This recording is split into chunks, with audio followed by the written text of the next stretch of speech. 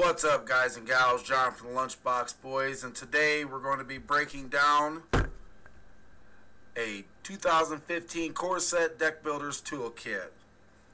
First off, always make sure that your stuff is sealed. And let's go ahead and check out the back. This Deck Builders Toolkit puts 285 cards at your disposal with everything you need to create multiple decks. No two toolkits are alike. I think that's bullshit. Each box contains 125 semi-randomized cards suitable for building several different Magic decks, four 15-card booster packs from a variety of recent Magic the Gathering sets, 100 basic land cards to help cast your spells, Deck Builder's Guide with tips about building the Magic decks, Magic Rules reference card, and full, full art reusable card storage box. So, for $20, so with it MSRP 20 bucks you get four booster packs in there. So that's that's sixteen dollars right there. So for the extra four dollars, would you take a hundred and twenty-five card semi-randomized deck, a uh, hundred basic land cards, and uh, a box you could store your stuff in? I would. So get her going. Okay, first off, let's check out our booster packs. We got a 2015 Core Set, a Theros, a Born of the Gods, and a Dragon's Maze, which is no longer standard, so we'll set that aside for now. You get a rules reference card, junk. We know how to play. This little cardboard spacer, that's junk. Deck Builder's Toolkit description, that's junk. We look, we get a land pack, so there's a hundred lands, well, a portion of it. Another one. You got Evolving Wilds, pretty underrated card in my opinion, because if you're playing a two or three color deck, a lot of times one color is what's going to hinder you. All right, let's go ahead and okay. Here's the box. It's about as big as a fat pack box. It's not. It's hinged. It's you can tell it's cheaper than a fat pack box, but hey, it does the job.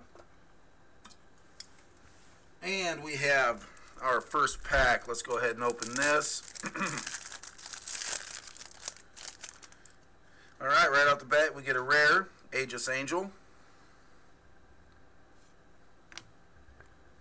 Mahatmi Ma, Mahamoti Djinn. Pretty crappy rare. Nightmare. Shivan Dragon, that's a pretty pretty decent rare right there. Terra Stomper, not a bad rare either. Let's see, Banishing Light. So, I mean, it's not just M15. You got Journey into Nyx, Theros.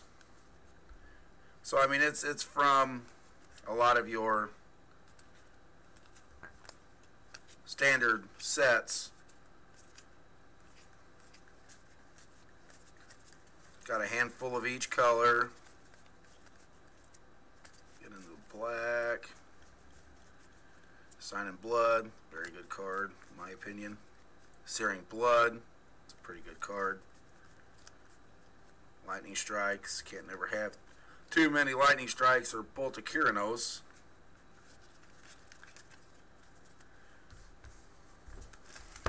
So, five rares, one of each color, right off the bat. So even though they're not the greatest rares in the world, they're still rares.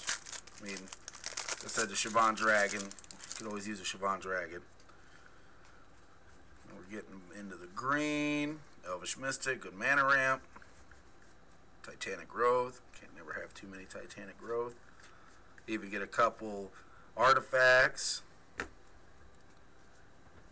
It's going to start you off on your lands in the second pack. So, I mean, 100 land cards, you really, really, is it, is it worth sacrificing another pack you could buy to get, well, that's well over five packs worth of cards. Oh, Skyspear Cavalry, Flying Double Striker. Kind of expensive on the mana cost. Ooh, I don't remember getting him. My last one. Now this one's got some of the better cards in it actually. I could make some pretty good substitutions with a couple of the ones I found. Another Bolt of Keranos.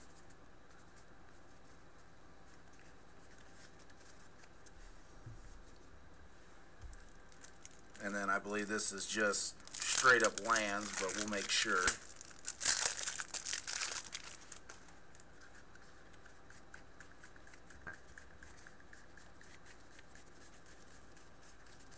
Oh yeah, straight up lands, but never have too many lands.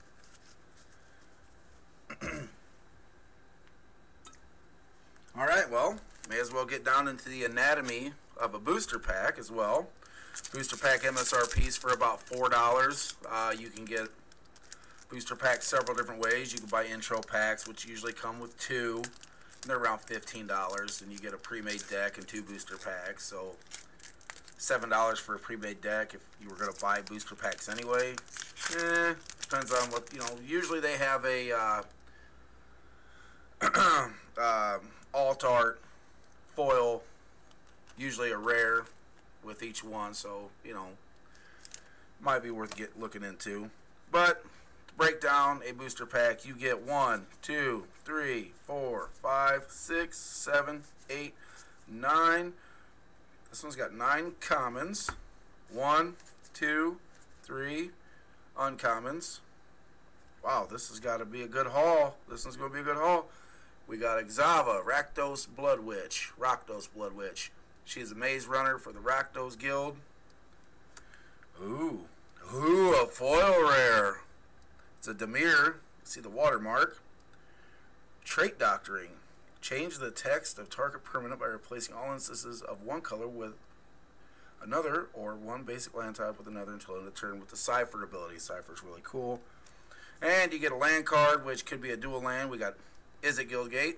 Comes in the battlefield tap, adds a blue or a red to your mana pool and a token. Sometimes you get a tip card, and that's one of my biggest gripes is they should all be tokens because who wants tip cards? We already know how to play, Wizards. Come on, get your shit together. God damn. But I'm going to take these rares and put them over here. Okay, so that's not your standard that wasn't your standard booster pack. That was one that had a foil rare and a regular rare, which I don't think either one of them is worth really more than a buck. So we'll get into our next one. Maybe we'll. I'm used to getting shitty pulls anyway. Anyway, we're going on about booster packs.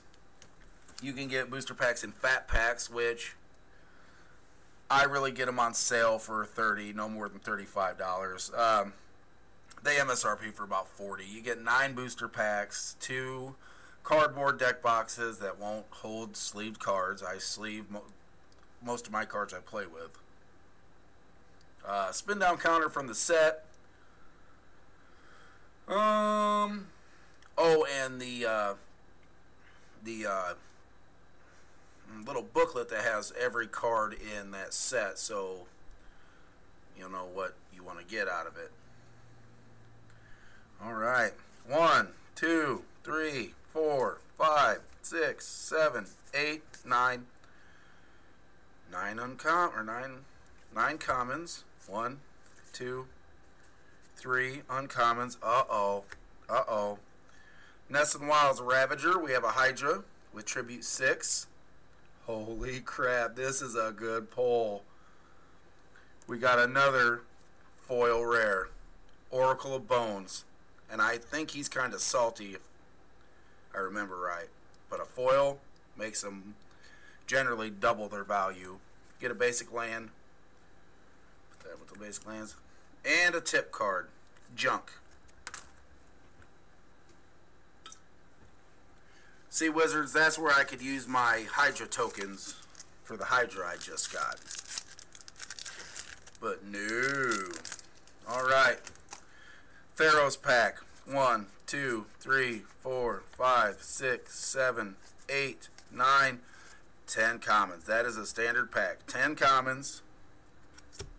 One, two, three uncommons, and a rare. Fleecemane Lion. As long as it has mo- is monstrous as hexproof and indestructible. Damn. He's at 3 3 for a green and a white. Another goddamn tip card. Fuck them tip cards in the land. Alright. And generally, Nyx and Theros, um, Theros more so.